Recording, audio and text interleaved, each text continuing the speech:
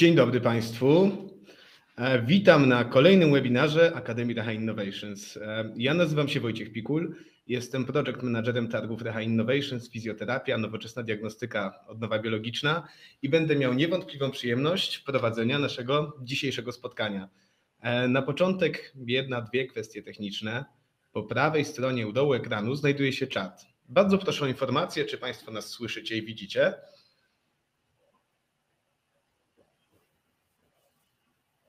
Dziękuję Pani Dario. Super. A, więc kwestie techniczne już za nami i możemy przejść tego, do tego, co najważniejsze, żebym nie zanudzał Państwa swoją osobą.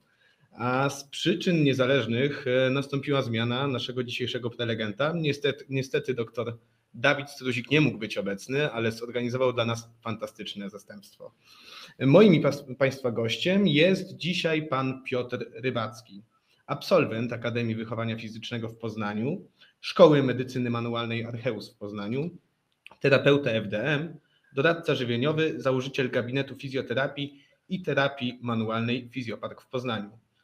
E, tutaj oddam głos panu Piotrowi, bo już jest gotowy, a później jeszcze pozwolę sobie wtrącić dwa, trzy zdania odnośnie tego, czym są targi Reha Innovations i zaprosić Państwa serdecznie do uczestnictwa w nich. Panie Piotrze, bardzo dziękuję, że jest Pan z nami. Oddaję Panu głos, oddaję Panu ekran. Dzień dobry, bardzo mi miło. Witam wszystkich zebranych.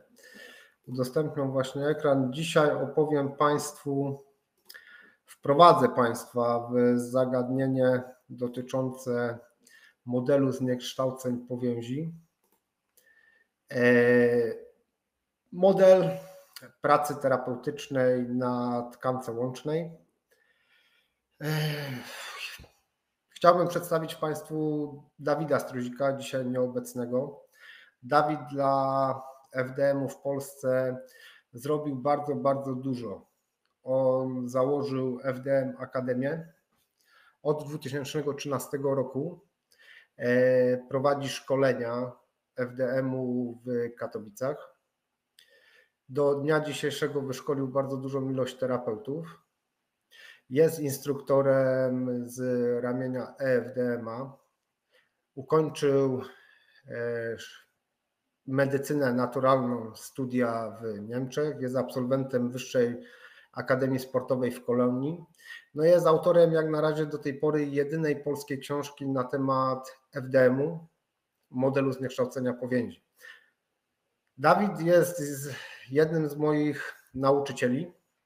Od niego bardzo dużo się nauczyłem, bardzo dużo jemu zawdzięczam. Niesamowita persona. E, jedyny instruktor polskiego pochodzenia, który uczy FDM-u z ramienia EFDM-a.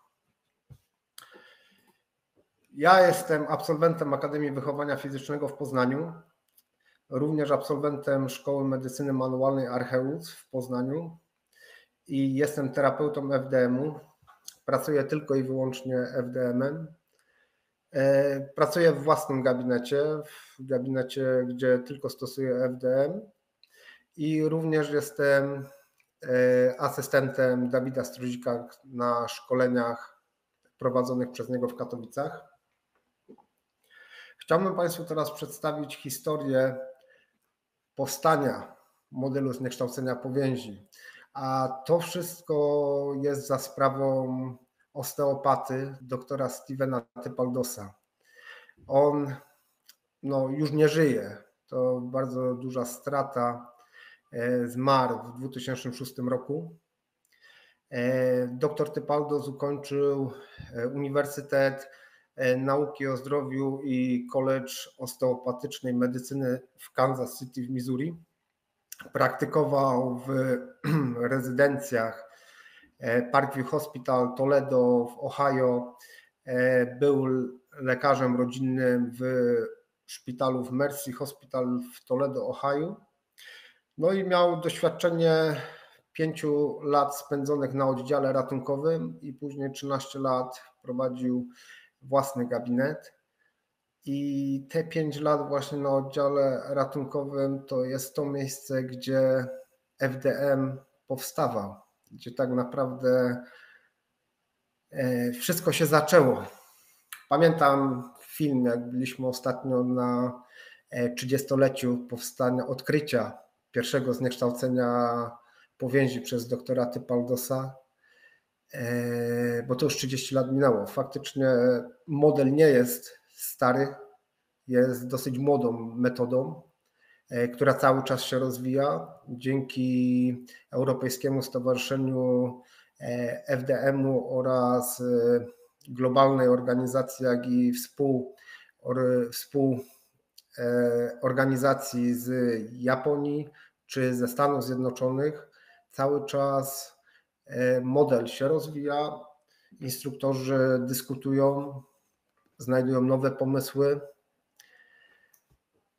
I historia ogólnie powstania FDM-u rozpoczęła się, tak jak wcześniej powiedziałem, na Sorze. To było w 1991 roku.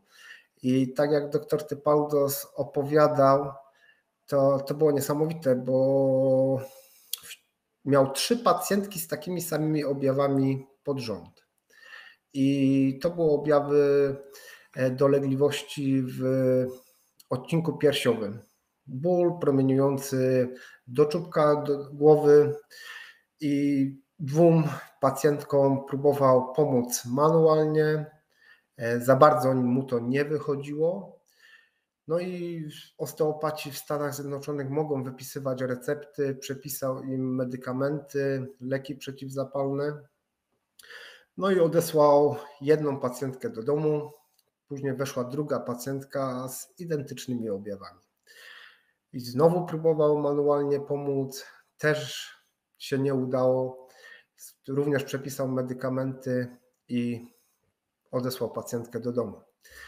Pojawiła się trzecia pacjentka z takimi samymi objawami. Aż trudno sobie wyobrazić, bo to jest niesamowite, żeby trzech pacjentów weszło i miało identyczne objawy. I w każdym razie e, powiedział jej, że nie jest w stanie jej pomóc.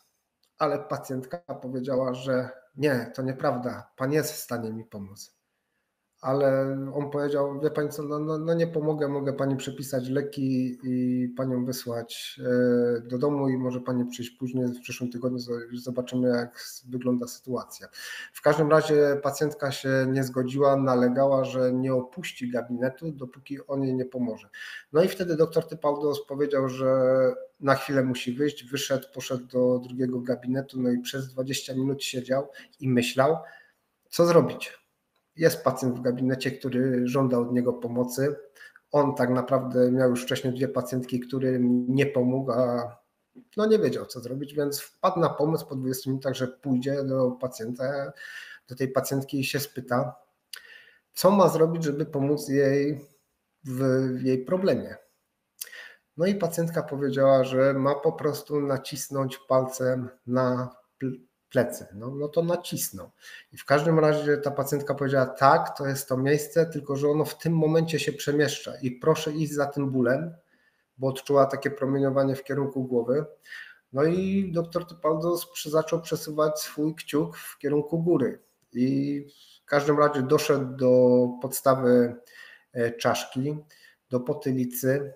No i pacjentka powiedziała, że ten ból skręca, skręcił, dojechał do ucha kciukiem i pacjentka nagle powiedziała, że bardzo mu dziękuję, bo ból, który miała od dwóch lat, puścił, że dolegliwości, które odczuwała, właśnie znikły.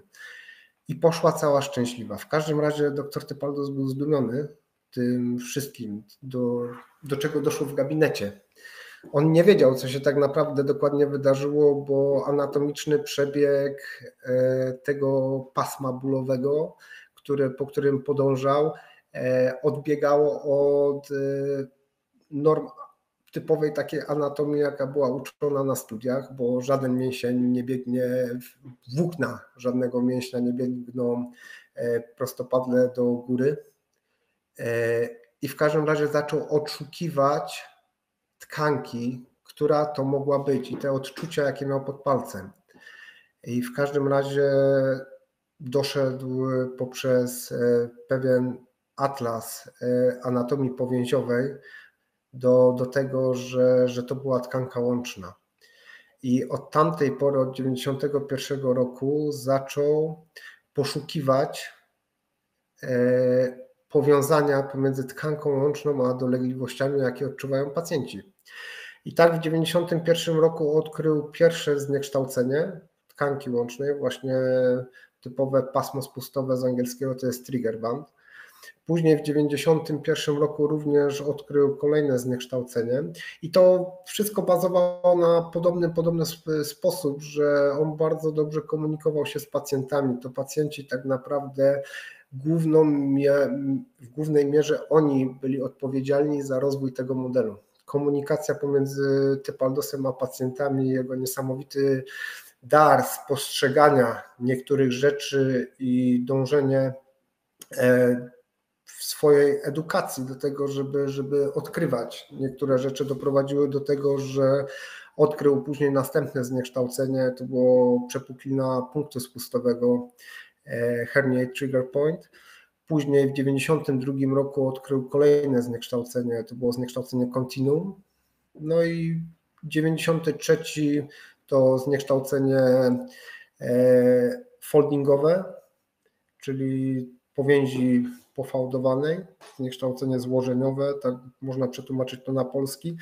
I w 1993 roku został poproszony o wykład e, przed innymi osteopatami w Stanach Zjednoczonych. On już napisał kilka artykułów e, do amerykańskiego czasopisma osteopatycznego. Ogólnie do 1994 roku były cztery zniekształcenia, które on właśnie wtedy opublikował. W 1994 odkrył kolejne zniekształcenie cylindryczne i w 1995 roku odkrył tektoniczną fiksację, a później już od 1995 roku do 2006 roku przestał szukać kolejnych zniekształceń, bo już nie było podstaw, nie widział podstaw ku temu, żeby szukać następnych, ale wziął się za tworzenie odpowiednich technik do korekcji zniekształceń, które odkrył i właśnie te techniki to jest tak zwana terapia manualna według Typaldosa, tak w skrócie TMT. E, później to są słowa, które do mnie trafiły, jak pisałem swoją pracę na temat FDM, to był licencjat. I też pisałem o FDM-ie i słowa, które wypowiedziała Marjorie Kasten, to jest y, asystentka jego, która pomagała mu przy tworzeniu książki. Faktycznie ta osoba też była jego pacjentką. To jest fizjoterapeutka, mieszkała też w tym samym mieście, co dr Typaldos miała problemy z permanentnymi dolegliwościami kręgosłupa, okolicy kręgosłupa, no i dr Typaldos jej pomógł. Później ona, ona też brała udział przy tworzeniu książki ostatniej, czwartego wydania i słowa, które ona wspomniała w jednej ze swojej wypowiedzi o przeczytanym mailu, który wysyłał dr Typaldos do pewnej osoby, która była zainteresowana FDM-em. I zacytuję Państwu to, co napisał dr Typaldos, że, że zarówno sam model FDM, jak i związana z nim praktyka kształtowały się przez długi czas pod wpływem wielu czynników, między innymi na podstawie sekcji zwłok oraz, co najistotniejsze, pod wpływem zdobytego na oddziale ratunkowym doświadczenia klinicznego w postaci tysięcy pacjentów, u których obrażenia anatomiczne były świeże, a od uszkodzenia nie minęło dość dużo czasu, by powstały odkształcenia wtórne. I tak jak już wcześniej Państwu powiedziałem, no FDM powstawał na SORze, gdzie pacjenci przychodzili z świeżymi dolegliwościami i spostrzegawczość doktora Typaldosa e, doprowadziła, jak i również kontakt z pacjentami do tego, że zaczął powstawać FDM. A jak sam Typaldos e, nazwał e, swój, swój model, swoje odkrycie, więc dr Typaldos to w prostych słowach opisał, że model zniekształceń powięzi jest anatomiczną perspektywą, której podstawową etiologią każdego urazu mięśniowo-szkieletowego, a także wielu innych schorzeń neurologicznych czy medycznych, uważa się za jedną lub więcej z sześciu określonych zmian patologicznych tkanki łącznej. I model ten nie tylko pozwala na uderzająco skuteczne terapie manipulacyjne, takich dysfunkcji jak naciągnięte mięśnie, złamania czy zamrożone barki, ale wyniki są obiektywne, oczywiste, mierzalne i natychmiastowe. Czyli tak jak Państwo mogą zauważyć już w definicji samego FDM-u, e, możemy wyciągnąć kilka ważnych rzeczy, że możemy leczyć obrażenia mięśnio, układu mięśniowo-szkieletowego, a również schorzeń neurologicznych i innych medycznych, jak na przykład internistyczne problemy. I to właśnie jest atutem FDM-u, że jesteśmy w stanie poprzez dobrą diagnozę e, rozłożyć e, dolegliwości bólowe pacjenta, czy ograniczenia zakresu ruchu, również niestabilności subiektywne, obiektywne, e, czy różne blokady. Jesteśmy w stanie rozłożyć te właśnie opisy subiektywne na rozłożyć na zniekształcenia tkanki łącznej i je korygować. I korygować je skutecznie. E, co to jest w ogóle terapia manualna według Typaldosa? Bo sam FDM to jest model, to jest tok myślenia, w którym my jako terapeuci FDM-u e, myślimy, ale wszystkie techniki, które wykonujemy, to już są e, specyficzne chwyty manualne, które wykorzystujemy do korekcji zniekształceń powięzi, które, tak jak sama definicja mówi, one odpowiadają jako etiologia E, problemów pacjentów, z czym się do nas tak naprawdę zgłaszają. Nie? I w pracy wykorzystujemy w głównej mierze kciuk, do tego wykorzystujemy dłonie i różne, narzę różne narzędzia, czy to na przykład maty do akupresury, chińskie bańki, pierścionki, czy do tego inne przyrządy, na przykład do terapii inwersyjnej, ławki antygrawitacyjne, czy krzesła antygrawitacyjne do leczenia mm, uciążliwych problemów z powięzią okołokręgosłupową. E, I to są akcesoria, które wykorzystujemy do korekcji zniekształceń powięzi. Diagnoza FDM-u jest specyficzna, jest bardzo specyficzna i e, składa się z czterech filarów. Jest to unikatowe w ogóle narzędzie diagnostyczne jest to nowe i przynajmniej mi nic nie wiadomo, żeby jakieś inne modele terapeutyczne e, diagnozowały pacjentów poprzez mechanizm urazu, język ciała, subiektywne odczucia, objawy przedmiotowe, to jest tylko i wyłącznie w FDM-ie. I te właśnie cztery filary E, służą do tego, żeby postawić diagnozę. I ta diagnoza jest naprawdę, naprawdę skuteczna, e, czyli poprzez sam mechanizm urazu, czy powstał nagle, czy problem się rozwijał u pacjenta powoli, czy do tego e, język ciała, jakim pacjent się posługuje przy opisywaniu swoich dolegliwości, który nakierowuje na miejsce występowania danego problemu, na głębokość, na kierunek przebiegu danego zniekształcenia, e, czy na samą interpretację, z jakim zniekształceniem mamy do czynienia. To, są właśnie, to jest właśnie rzecz, którą Typaldo dostrzegł na oddziale ratunkowym, tak jak on napisał, że te problemy pacjentów w danym momencie były czyste, że nie powstawały e, inne zniekształcenia wtórne, gdzie wtedy już jest zaburzona propriocepcja i, i odbiór pacjenta co do miejsca bólu i lokalizacji, jak i później subiektywne odczucia pacjenta i objawy przedmiotowe, czyli pacjenci też opisują przy e, swoje dolegliwości, że na przykład występują bóle typu ciągnącego, bóle punktowe przy kości, na przykład kujące, czy na przykład jakieś tępe bóle umiejscowione w, w mięśniach, czy na przykład w okolicach kręgosłupa. Pacjent dokładnie wie, gdzie znajduje się jego problem. I my jako terapeuci uży, używając tych e, wszystkich filarów, no jesteśmy w stanie dokładnie dojść do tego, z jakim problemem ma pacjent, z jakim problemem mamy do czynienia u pacjenta i jak temu pacjentowi możemy pomóc. I tak samo na przykład objawy przedmiotowe, niektóre zniekształcenia na przykład ograniczają zakres ruchomości w jednej płaszczyźnie, czasami w dwóch. Jedno ze zniekształceń tylko i wyłącznie ogranicza jeden kierunek ruchu, inne na przykład w ogóle nie ograniczają kierunku ruchu, a bolą. E, więc, więc pole manewru diagnostyczne jest duże. I naprawdę, jak się połączy te cztery filary, to powstaje dobra diagnoza. I na przykład w przeciwieństwie do modelu ortopedy, ortop, ortopedycznego, w którym to jak ludzie z skręconą kostką trafiają na SOR, to bardzo często e, są unieruchomiani, odciążani na przykład poprzez chodzenie o kulach, czy postępowanie typowe PRICE, gdzie wykorzystuje się odpoczynek lód, kompresję, elewację, czy niesteroidowe leki przeciwzapalne i chodzenie o kulach.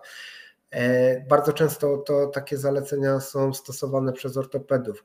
My tego nie zalecamy. My po prostu dzięki FDM-owi takich pacjentów od razu uruchamiamy, bo na przykład skręconą kostkę, tak jak tutaj na, mam opisane, opisałem Państwu, e, korygujemy podczas terapii. Dzięki tym wszystkim czterem filarom jesteśmy w stanie dojść do e, konkretnych zniekształceń, które e, odpowiadają za problem pacjenta, że na przykład nie może chodzić, nie może prawidłowo obciążyć tej nogi i bardzo, bardzo szybki sposób jesteśmy na przykład w stanie mu pomóc i go uruchomić, bo tak jak już Państwu przetłumaczyłem w teorii Typaldosa, jak on zdefiniował FDM, wyniki są natychmiastowe, mierzalne, obiektywne. Więc jeżeli wykonujemy dobrze, prawidłową technikę, diagnoza jest prawidłowa, to ten efekt jest natychmiastowy. I żeby nie być gołosłownym, to Państwu zaprezentuję filmik, e, Keisuke Tanaki. To jest e, terapeuta, który się uczył bezpośrednio od e, doktora Tepaldosa w Stanach Zjednoczonych. Jest jednym z najbardziej doświadczonych terapeutów FDM-u. Więc proszę zobaczyć, jak on na przykład leczy skręconą kostkę. Tu teraz puszczę Państwu film. Proszę zwrócić uwagę na początku, że pacjent wchodzi o kulach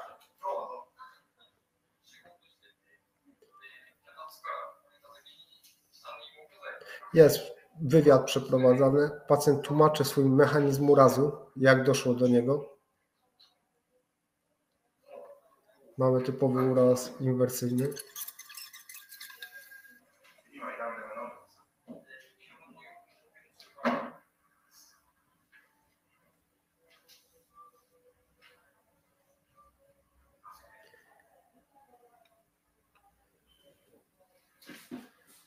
I i po prostu jest korekcja. W tej chwili są korygowane zniekształcenia w tkance łącznej, jak zaraz Państwo zobaczą. Taka terapia długo nie trwa, to jest 15-20 minut. Czasami nawet szybciej.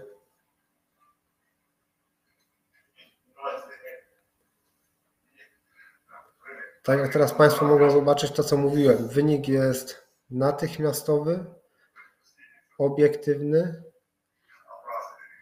i mierzalny. Tak jak pacjent wszedł o kulach, tak teraz już chodzi normalnie.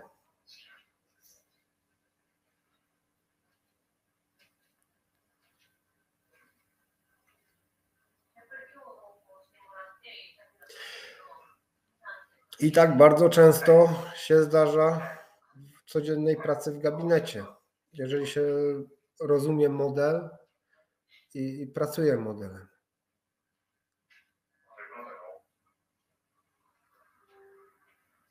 I tu nie potrzeba, nie, tu nie musi być zastosowane podejście ortopedyczne, bo jeżeli by ten człowiek e, był unieruchomiony, no to po sześciu tygodniach dopiero by zaczynał rehabilitację i I to by się trochę ciągnęło. Nie?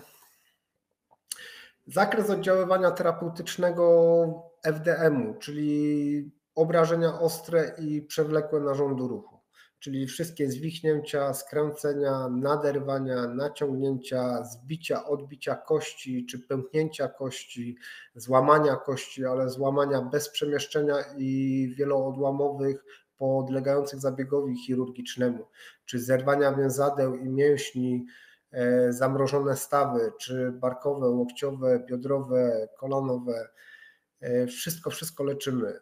Bardzo dobrze reagują na leczenie FDM, czy problemy neurologiczne, takie jak porażenia mięśni, stany poudarowe, rwy i rzekome rwy kulszowe czy barkowe, cieśni i rzekome cieśni nadgarstka, stenozy kanału kręgowego, odruchowa dystrofia współczulna czy opadająca stopa typu neurologicznego czy potraumatyczna, stwardnienia rozsiane, fibromialgia, bóle głowy, wszystko dobrze, te wszystkie tutaj wymienione dysfunkcje dobrze reagują na, na FDM, czy na przykład takie z, E, schorzenia internistyczne typu, typu kolka nerkowa, kolka żółciowa, czy dolegliwości narządów wewnętrznych przy zapaleniu wyrostka robaczkowego, trzustki, żołądka, ale to tylko i wyłącznie jesteśmy, powinniśmy uśmierzać ból, ale tu muszą być zachowane później procedury typowo medyczne, żeby, żeby nie przegapić problemu, bo na przykład jesteśmy w stanie bardzo uśmierzyć ból, ale problemu nie, nie rozwiążemy, który, który e, rozwija się w ciele i tam naprawdę to już musi chirurg zadziałać, czy niespe, przy niespecyficznych bólach brzucha. Teraz bym chciał Państwu e, porównać postępowanie lecznicze e, klasycznego postępowania ortopedycznego kontra FDM-u. Mam tu kilka raportów przypadków, Pierwszy to chciałbym Państwu pokazać e, złamanie obojczyka i zerwanie więzozrostu barkowo-obojczykowego i ciasnotę podbarkowe. To jest pacjentka, którą leczyłem, to było dwa lata temu. Tak, dwa lata temu. Tu jak mogą Państwo zobaczyć jest e, wypis z z SOR-u, że doszło do złamania końca dalszego lewego obojczyka. E, podejrzenie było e, zerwania międzywzrostu barkowo-obojczykowego. Takie podejrzenie było na SOR-ze. Później to, e, to podejrzenie się potwierdziło w badaniu USG. Staw barkowo-obojczykowy poszerzony stopnia drugiego i tak, zalecenia lekarskie, jakie e, chora otrzymała na SORze, to było oszczędzanie i unieruchamianie chorej kończyny. W opatrunku ósemkowym do czasu kontroli ortopedycznej. Kontrola miała odbyć się za od 10 do 14 dni wraz ze zdjęciem RTG. E, takie były zalecenia z SOR. Czyli co? Przez dwa tygodnie pacjentka zażywa leki przeciwbólowe, e, jest unieruchomiona, do tego dochodzi zwolnienie lekarskie, nie pracuje. Więc, więc tak naprawdę przebywa w domu i walczy z bólem, brak funkcji. Nie jest w stanie za, za, za dużo zrobić. E, my dzięki FDM-owi jesteśmy w stanie takim pacjentom pomóc i szybko ich uruchomić. Tu mogą Państwo zobaczyć zdjęcie RTG, że jest złamanie końca dalszego obojczyka. E, tu jest wizyta u ortopedy po, po tych 14 dniach. Jest złamanie RTG, e, styk odłamów był w osi. Pacjentka już była po, po kilku terapiach wtedy. Dziesiąty, dziesiąty, siódmy to, to, już były trzy terapie. E, I dostała skierowanie od ortopedy na rehabilitację i w zaleceniach było pole magnetyczne. W każdym razie no, ortopeda był poinformowany, że są udzielane pacjentce świadczenia terapii manualnej. I tak jak Państwo mogą zobaczyć, to są zdjęcia z pierwszego e, badania, jakie, jakie zostało wykonane u, u tej pacjentki. W, zawsze w naszym modelu FDM testujemy pacjenta, sprawdzamy zakresy ruchomości przed, przed każdą techniką, po każdej technice. Musimy zobaczyć, gdzie występują ograniczenia, co ogranicza i później oczywiście, żeby sprawdzić to, co Państwu wspominałem, czy są efekty po wykonanych technikach. W każdym razie my jako terapeuci FDM nie, rozkładamy te dolegliwości, jakie tu pacjentka miała, czyli złamany obojczyk, przerwany więzozdroż czy ciasnotę podbarkową na sześć zniekształceń powięzi, które do tego do, doprowadzają. I z diagnozy FDM-u, gdzie łączymy na przykład te wszystkie cztery filary, jak mechanizm urazu, język ciała, do tego opis subiektywny i objawy przedmiotowe, stawiamy diagnozę i tutaj z tej diagnozy wyszło, że to był ostry bark z globalnym ograniczeniem zakresu ruchomości i zniekształcenia, które do tego doprowadzały, to było przepuklina punktu spustowego, było pasmo spustowe, było zniekształcenie kontinuum i zniekształcenie e, cylindryczne. I te techniki, te, te zniekształcenia były liczone podczas, e, leczone podczas pierwszej sesji, a tu są zdjęcia, które były po pierwszej sesji. To po pół godziny terapii pacjentka odzyskuje zakres ruchomości. Po 8 tygodniach wraca, po 8 terapiach dochodzi do pełnego wzrostu obojczyka bez unieruchomienia, a pacjent e, po tygodniu wraca do pracy. Po, po półtora tygodnia ona, ta pacjentka odstawiła leki przeciwbólowe i normalnie funkcjonuje. Rusza kończyną, Zakres ruchomości ona odzyskuje, złamanie jest, jest, no bo przecież nie, nie jesteśmy czarodziejami, nie, przy FDM nie, nie wyleczy nagle złamania, to organizm sam robi, ale pacjentka jest w ruchu, ona jest uruchomiona, może funkcjonować, może iść do pracy, może zarabiać, e, ZUS nie musi płacić na e, pieniędzy pacjentce. Pacjentka nie siedzi w domu, uczestniczy w życiu społecznym.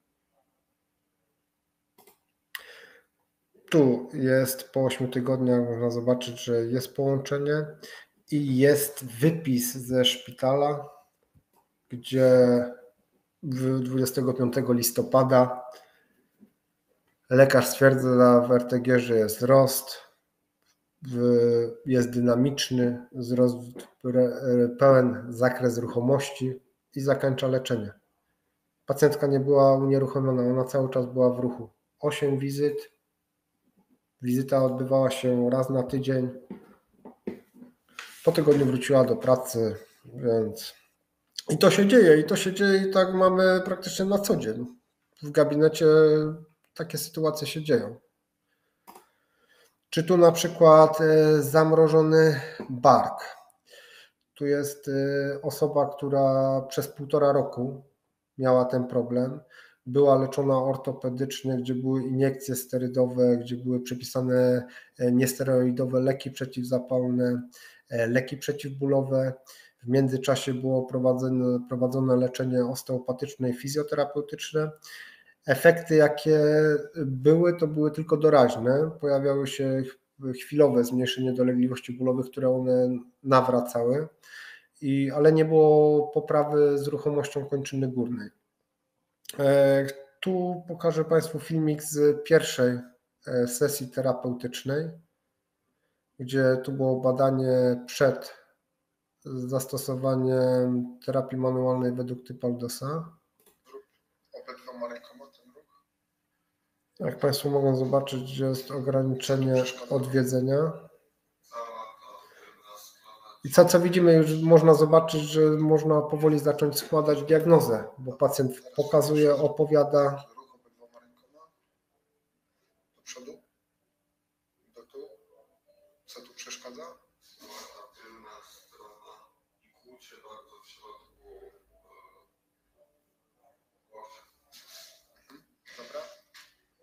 teraz poproszę. Tak, no, to dobrze. Co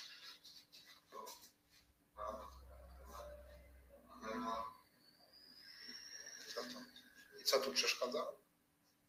Z tej strony pas trzyma. Tu w środku to jest naprężone. A tu w łokciu jest takie kłucie. Tak jakby coś tam też I dzięki temu na przykład w tym momencie powstaje diagnoza. Mechanizm urazu jest powolny akurat, no to choroba się nie, nie rozwija od razu, ale, ale mechanizm urazu jest znany, do tego dochodzi mowa ciała, e, pojawiają się opisy subiektywne, do tego mamy badanie przedmiotowe, gdzie widzimy, które zniekształcenia przy którym zakresie ruchu ograniczają pacjenta i to jest film po 40 minutach po terapii, gdzie Państwo mogą zobaczyć, jak zakres ruchomości się poprawia. Zamrożony bark. Od ilu Grzegorz? To roku od czerwca 2019. Tak jest, po terapii RTM. Teraz rotacja zewnętrzna.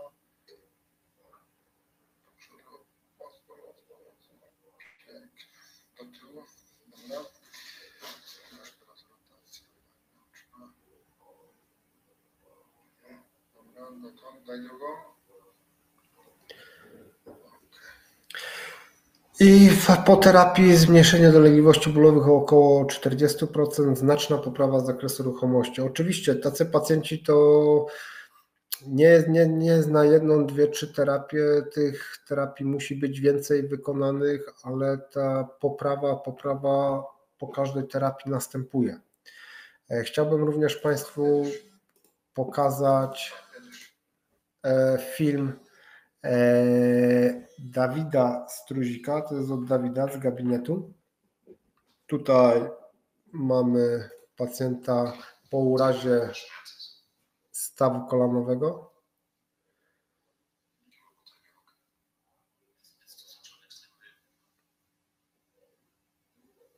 I tu już powstaje diagnoza.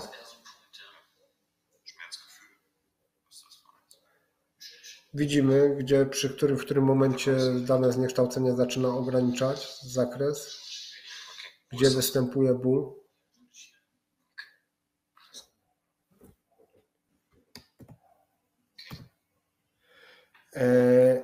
I to jest porównanie, że terapia klasyczna, rozpoznanie ortopedyczne byłoby, że dochodzi do pęknięcia łąkotki, rozpoznanie, że kolano jest bolesne, znaczne ograniczenie ruchu i postępowanie ortopedyczne byłoby, że unieruchomienie na 4-6 tygodni, następnie wizyta kont- kontrolna, jakby nie było poprawy, to artroskopia i taki powiedzmy sportowiec, jeżeli to chodzi o sportowców, zaczyna swoją powrót do, do treningów po, po kilku tygodniach, nie? czy po, po ośmiu. Koło, koło tego by zaczął dopiero truchtać, nie? lekko wzmacniać, wzmacniać mięśnie i truchtać. A dzięki temu postępowaniu, jakie my stosujemy, dzięki FDM-owi, to uruchamiamy pacjenta raz, dwa. I dzięki temu wiemy, że na przykład mamy do czynienia z zniekształceniem typu kontinuum i korygujemy to zniekształcenie tak naprawdę do 30 sekund i taka osoba już może być sprawna do treningu na następny dzień. Nawet jeżeli jest pęknięta łąkotka, no to, to ta łąkotka nie będzie przeszkadzała, bo łąkotka nie boli. Boli wszystko, co jest na, naokoło, czyli boli tkanka łączna. A tak jest po, po korekcji tego zniekształcenia kontinuum. Po 30 sekundach pacjent, zobaczcie, wynik jest natychmiastowy, obiektywny, mierzalny. Pacjent płynnie schodzi do, do przysiadu.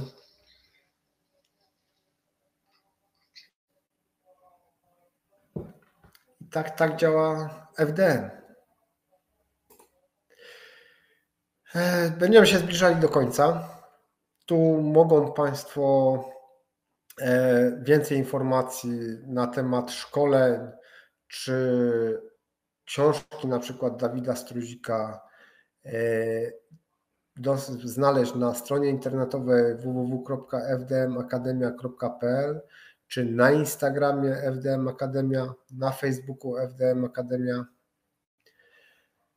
No i bardzo dziękuję, bardzo mi miło było Państwa wprowadzić w historię modelu zniekształcenia powięzi, jak i przedstawić Państwu, na czym mniej więcej polega praca tym modelem i jakie są efekty. Bo więcej, więcej na pewno się Państwo dowiecie na szkoleniach, gdzie wszystko jest dogłębnie tłumaczone, gdzie są techniki e, korekcyjne przedstawiane i trenowane. I chciałbym Państwa zaprosić na targi Reha Innovation w Krakowie, gdzie koledzy Jarek i Przemek poprowadzą dla Państwa warsztaty i na pewno przedstawią więcej aspektów e, technicznych na tych warsztatach i będzie można poćwiczyć, spróbować na sobie, jak, jak oddziaływuje FDM i śmiało polecam. Dziękuję bardzo, do widzenia. E, Panie Piotrze, Szanowni Państwo, ja bardzo dziękuję, przede wszystkim Panie Piotrze, bardzo dziękuję, że zgodził się Pan być dziś z nami i podzielił się swoją wiedzą. To było niezwykle merytoryczne wystąpienie, skompresowane w tak krótkim czasie i podłączam się oczywiście do, do zaproszenia. Kontynuacja tego, co przedstawione było dzisiaj, będzie oczywiście na targach Recha Innovations w Krakowie już 13 i 14 maja w Expo Kraków. Tutaj korzystając z okazji chciałbym serdecznie wszystkich Państwa zaprosić e, na nasze targi i pokrótce opowiedzieć, czym one będą. A Tak jak wspomniałem, odbędą się one w dniach 13 i 14 maja i już dzisiaj z pewnym, z całym przekonaniem mogę powiedzieć, że będzie to prawdziwe święto polskiej fizjoterapii. A To właśnie tutaj u nas w Expo Kraków nastąpi integracja środowisk związanych z rehabilitacją, fizjoterapią, diagnostyką, a także i odnową biologiczną. Targi będą platformą spotkań i rozmów. E, W jednym miejscu spotkają się przedstawiciele biznesu, e, jednostki akademickie, startupy i przede wszystkim wy, fizjoterapeuci. E, To właśnie z myślą o Was, o Państwu, stworzyliśmy Akademię Reha Innovations. Akademia Reha Innovations przed targami to bezpłatne webinary, których kontynuacja będzie miała miejsce u nas stacjonarnie w maju. Zachęcam do zapoznania się z naszymi kolejnymi webinarami, bo już 13 kwietnia spotykamy się z doktorem nauk medycznych Remigiuszem Rzepką, który w latach 2011-2012, a także 2013-2018 był trenerem przygotowania motorycznego reprezentacji Polski w piłce nożnej. A wówczas porozmawiamy o podejściu funkcjonalnym w treningu medycznym i motorycznym. A kolejny webinar odbędzie się 21 kwietnia. Naszym gościem będzie Grzegorz Gamracki, ceniony osteopata, przedstawiciel Osteon Rzeszów, który wprowadzi nas w manualne wspomaganie leczenia stanów ostrych. Udział w webinarach oczywiście jest bezpłatny. Obiecuję, że dostaniecie ode mnie Państwo link z zaproszeniem do tego. I tak jak wspomniałem wcześniej, kontynuacją e, każdego webinaru są szkolenia na targach. Już dzisiaj zachęcam do zakupu biletów, bo przyznam szczerze, że ilość miejsc jest mocno ograniczona, co mnie cieszy. Cieszą się one dużą, dużą popularnością. Mnóstwo osób kupuje bilety. Więc szanowni Państwo, zapraszam serdecznie. Bądźcie z nami 13 i 14 maja podczas targów Reha Innovations, fizjoterapia, nowoczesna diagnostyka, odnowa biologiczna w Expo Kraków. To bez wątpienia będzie inspirujący czas. Bardzo dziękuję, że spędziliście z nami dzisiejszy wieczór i do usłyszenia, do zobaczenia. Panie Piotrze, dziękuję raz jeszcze. Dziękuję, do widzenia.